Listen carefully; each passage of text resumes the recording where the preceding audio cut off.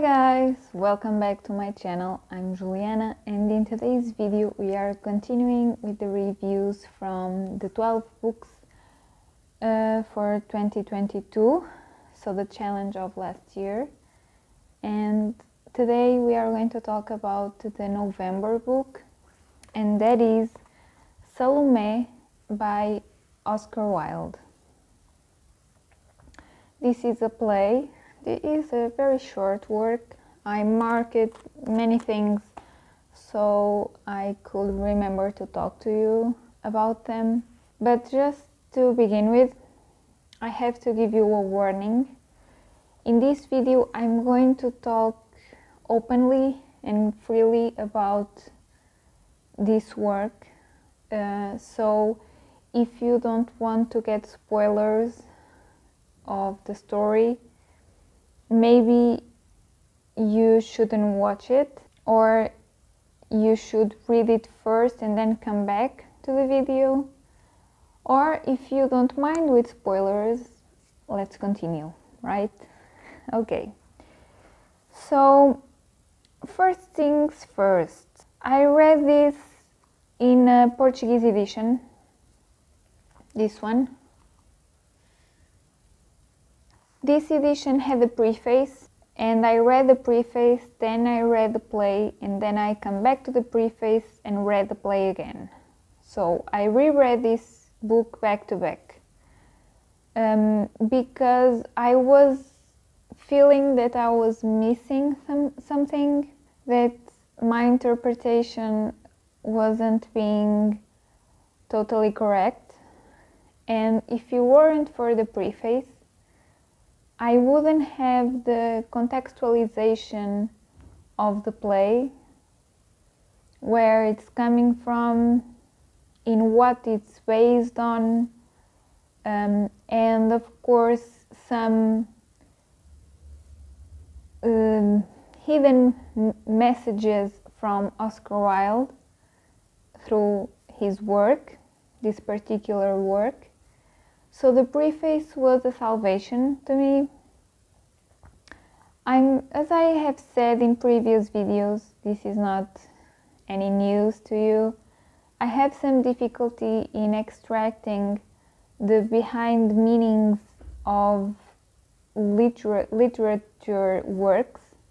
So I have to do to reread and extrapolate what the author was meaning in that passage, so I have difficulties doing so.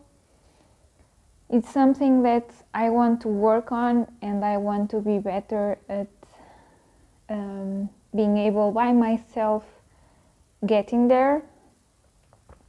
And this work, this book in particular, was a challenge in that way.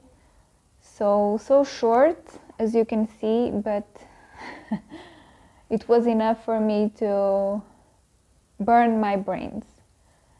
So I'm thinking to talking to you about the plot of the play, as I've said, with spoilers, because I think um, for me to point out some commentaries in each um, each specific point of the story, I have to do it with spoilers.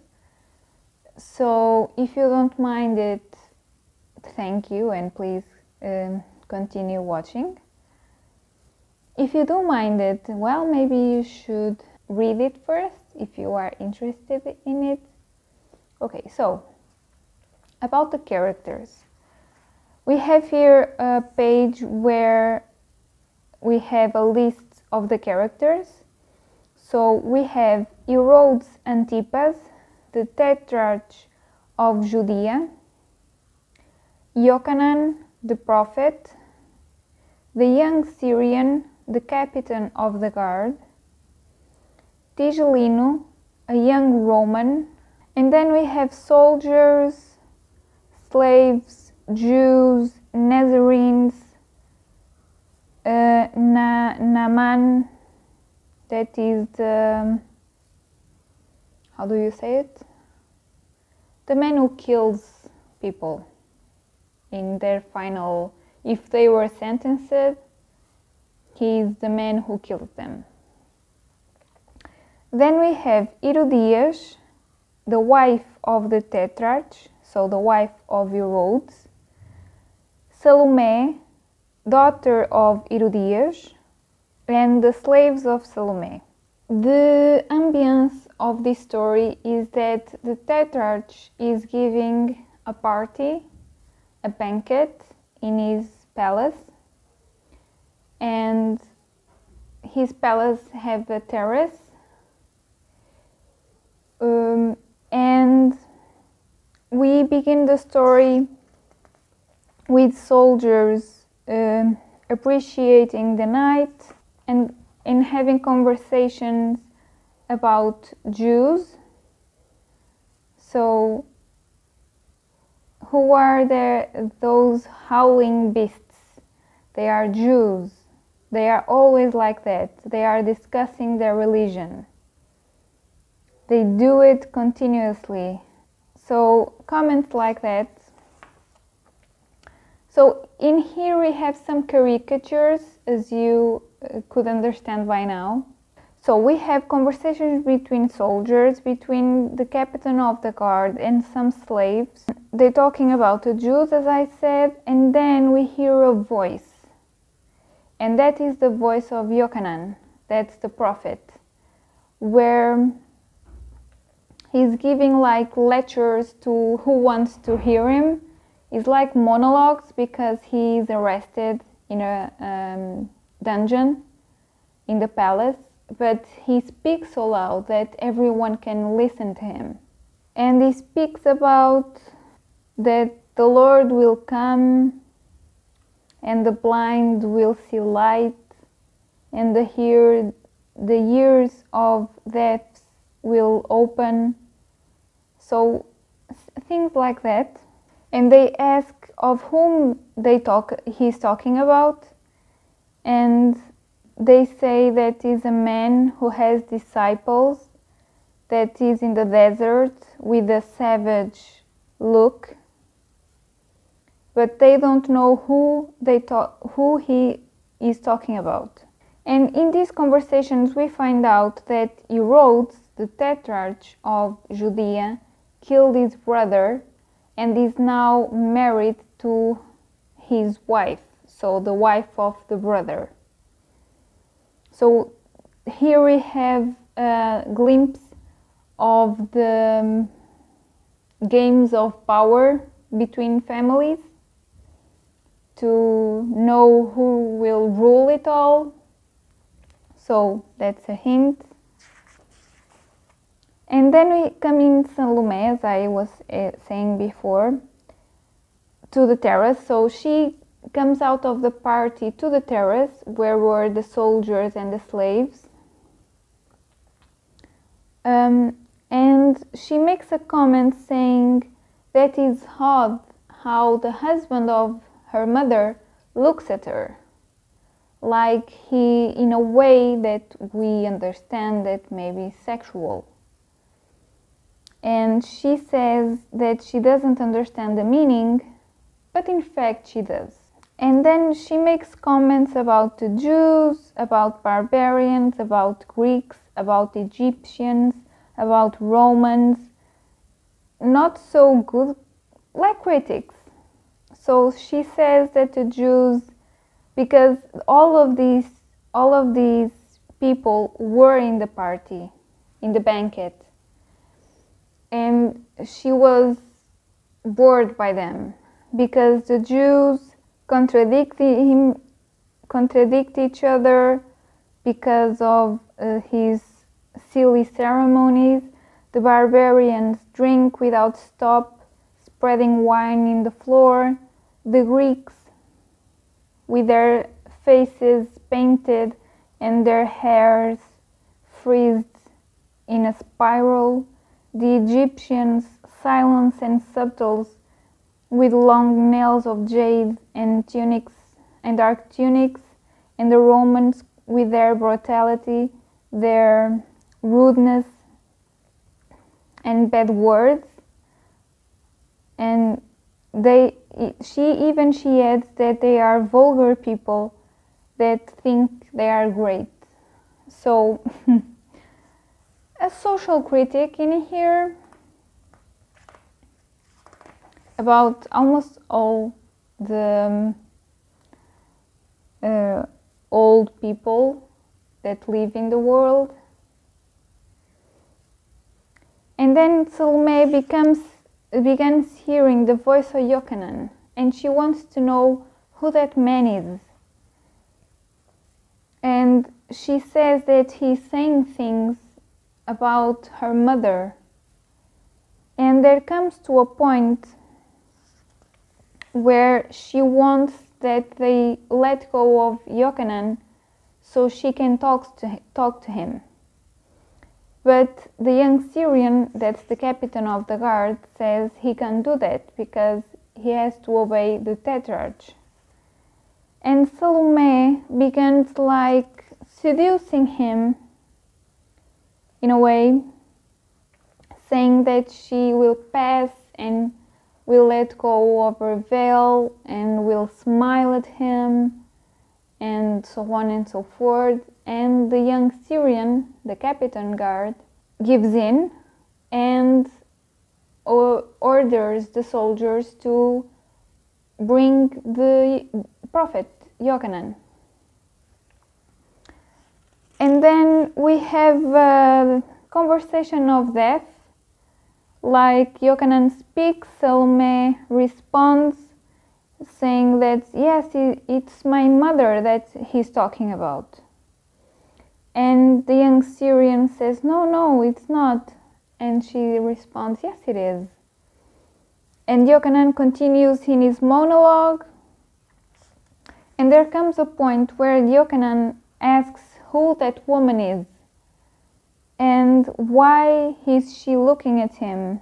And he says, Go back, daughter of Babylon. Don't come near the chosen of the Lord. Your mother filled the land with wine and immoralities, and the clamor of her sins comes to the ears of God. And so maybe becomes a bit strange in a way because she asks him to continue speaking because his voice inebriates her, and Yochanan rejects her, and she, began, she begins complimenting his body. But Yochanan rejects her again. And there's when Salome swifts, swifts, is that how we say it? I think it is and she criticized him, saying that his body is ugly, and it's um, of his mouth that she's enamored. And she says, like in a promise, that she will one day kiss his mouth, his mouth. And then we have a situation uh, where the young Syrian, our uh, captain of the guard, kills himself. And in the first time I read it, I didn't understand why he killed himself. But the second time I read it, I could figure out that perhaps he had so morally high standards that he allowed himself to be seduced by the princess Salome and disobey his orders and because of that, he become he became so upset by that that he killed himself. But like that happening, it's like Salome is indifferent. Salome continues to talk about the prophet. And Yochanan says something here that it's like a prophecy he says, Don't you have fear, son of Irod- daughter of Herodias? Didn't I told you that I would I would hear in the palace the clap of the wings of the angel of death, and the angel didn't come? And we will see this phrase being said by another character further on. And Yochanan says to Salome that she is the daughter of adultery and there's only one man that, that can save her and that man that I told you about go looking for him is in a ship in the sea of Galilee talking to his disciples kneel in the margin and call his name. When he comes to you he come because he comes to whomever call, call his name ask him for remission of your sins. And Salome doesn't stop saying, Let me kiss your mouth. It's only what she says, repeatedly. And then Yochanan come, goes down to the dungeon, and the soldiers are discussing what they're going to do with the body of the young Syrian but there's when Herodes, Herodias, and the court come in in the terrace looking for Salome.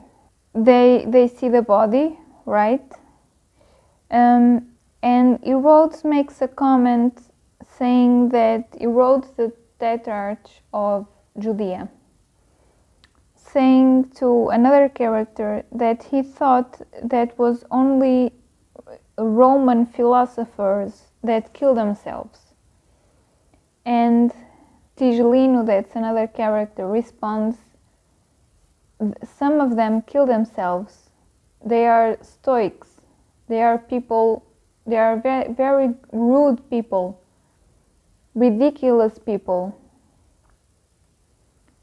So, another critic to part of the society. And they explain in here the story of the young Syrian that I don't think is particularly important. And then we have like a conversation between Herodes, Herodias, and in between we hear the voice of Yochanan, the prophet. And Herodias criticizes Herodes, saying that he's a coward that he, he is fearful of Yochanan. And Herodes is like, no, I'm not. Um, and he, the, he doesn't say anything bad about me. He just says bad things about our enemies. So Herodes uh, flees from the discussion.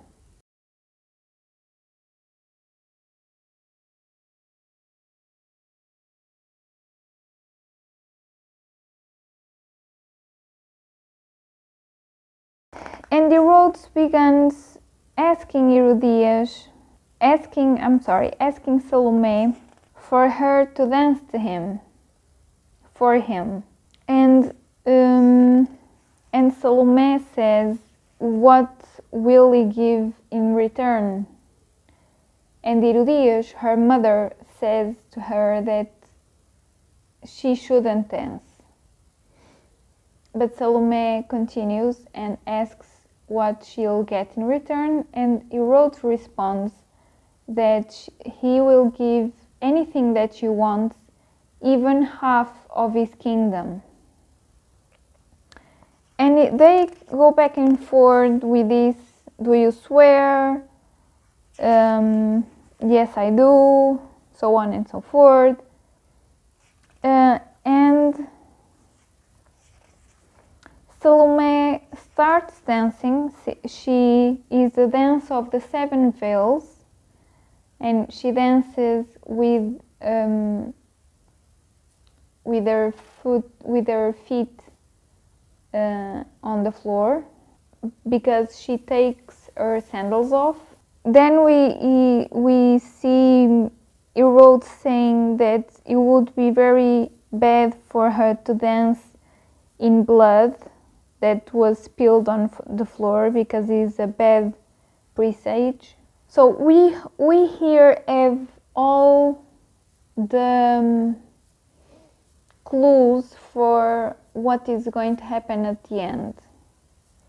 Because there is a point in in here but before that, okay, so Salome dances, and then Herodes asks her what she wants, and she answers that she wants the head of Yochanan. And Herodes says, Well, I can give you everything except that. And they go back and forth saying that he swore, he make uh, an oath that he promised to give everything that she wanted. And there's a bit of uh, hesitation from Herodes because he doesn't want to kill Yochanan. But there, there comes a point where he gives in and he orders the, um, the soldiers to go, to go and kill Yochanan and bring his head.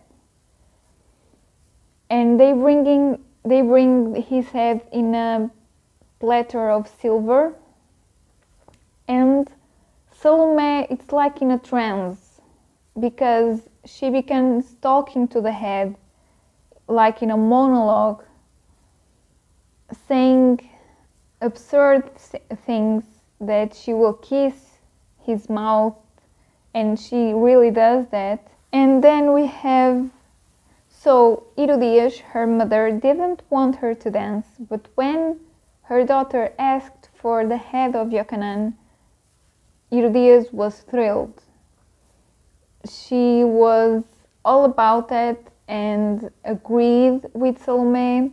She was content uh, because she wanted the death of Yochanan. And Salome is like, as I was saying, is if, is, is if as she were in a trance, like she's not really making sense. She mumbles and say, says things that are weird. And then Herodes turns back to the palace, but before he enters, he turns no, he turns over and he says, "Kill that woman." And so the soldiers smash her with the shield, with. Salome, daughter of Herodias, princess of Judea. And so, something that I didn't know, and it was because I read the preface that I became aware of it.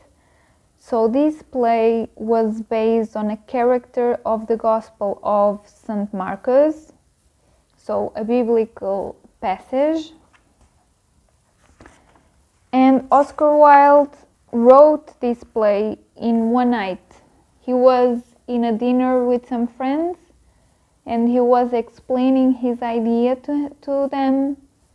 And as he was explaining, the inspiration came. And so when he goes, when he went to his hotel, I think, he had some papers in his desk, and that's why he decided to begin writing, and that's how Salome was made.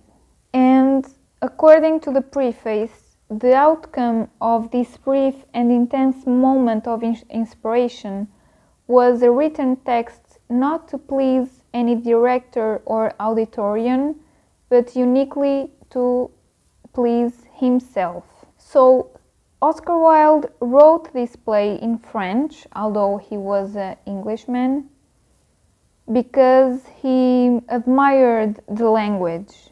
And it was the attraction by the French language that took him to write this play in French. So this was published in France, eh, in French, in Paris and London in 1893 and the play pleased an actress called Sarah Bernhardt that decides to gather a cast, a French cast, and she will play Salome.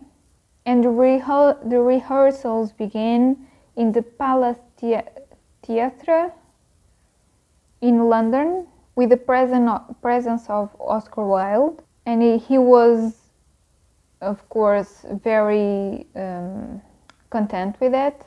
But the danger of censorship begins, and it, it's put the hypothesis of a prohibition because it includes biblical characters according to a law, a, a Protestant reform of some or something like that, and Oscar Wilde um, becomes furious about it, and he threatens to leave England and become French. But eventually, this will be played in Paris in February, February of 1896, but the author was then imprisoned um, for his homosexual practices implicating the corruption of minors. So he had also very bohemian life, right? So in the Bible, the heroine is also a young princess victim of an intense and irresistible passion that will lead her to a violent death. And this type of choice was apparently um, a theme in between the French art artists of the end of the century.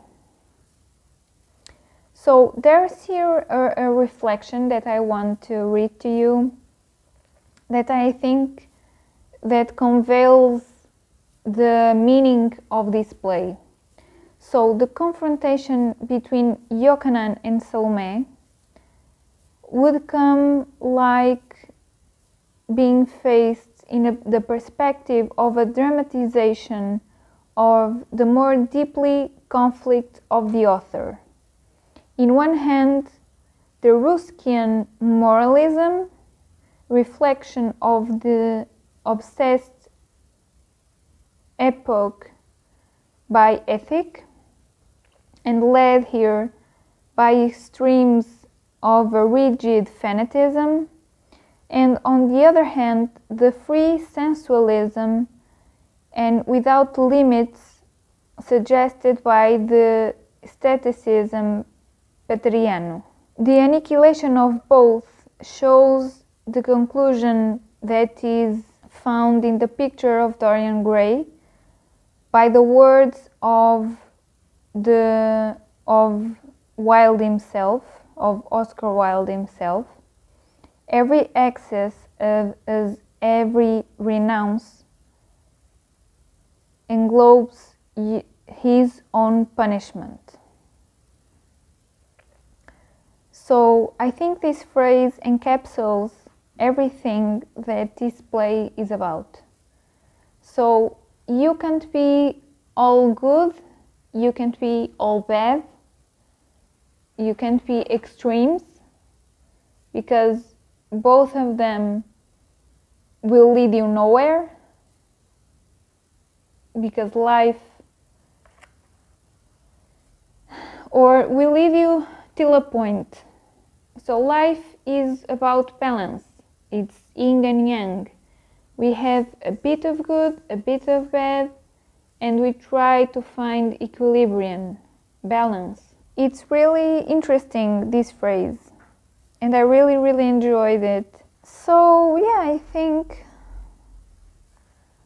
that this was a critic, a social critic, a caricature of some people uh, ancient people, a caricature of the, the, the sad pure of hearts that only see the righteous thing to do and don't um, allow anything out of that order to be permitted. And on the other hand, the libertines, the bohemians, the sexual active and promiscuous people also have bad points. And so everything is a balance, and fanatism isn't the answer. In which way you are talking about? Fanatism, as in and of itself, is not a good path to go to. So, these were my comments I that I wanted to do with the help, of course, of the text of the preface. If you weren't for the preface, I would have some difficulties understanding this play. But I think it's worth it if you uh, know Oscar Wilde, like myself. I can talk for myself. I have read The Picture of Dorian Gray and I really enjoyed it. I think I, I read an edition that was censored, so I'm planning to buy uh, an edition that is uncensored so I can have the complete experience of that book. Uh, but I really enjoyed the writing of Oscar Wilde, so that's why I became seduced to buy uh, this and knowing it was a play, but I wanted to um, read other formats of literature um, like poetry, plays, and so that's why I bought it. And I can't say that I really enjoyed it. I can't say that. But it was worth it. It was interesting to say the least. The it's it was funny in some parts. I I'm saying that I didn't enjoy so much because of my trouble understanding the meaning. So maybe I'm a bit biased because of that. But overall, I think this is an excellent experience, excellent reading experience, and be careful if you are like me and have some trouble understanding the meaning of things. If you find a, an edition where it comes with support texts and prefaces, um, notes by the editor or by another author, so support where you can find a more elaboration and contextualization of the work. So yeah that's my advice for you. So i'm i'm going to say goodbye so please subscribe to my channel if you haven't subscribed already. Don't forget to press the ring bell button to all so you can receive all my notifications. Leave a like it helps a lot the divulgation of the video and the divulgation of the channel follow me on instagram. I'll be posting there whenever i have a book review to do or anything else. And that's it. I see you on the next one. Bye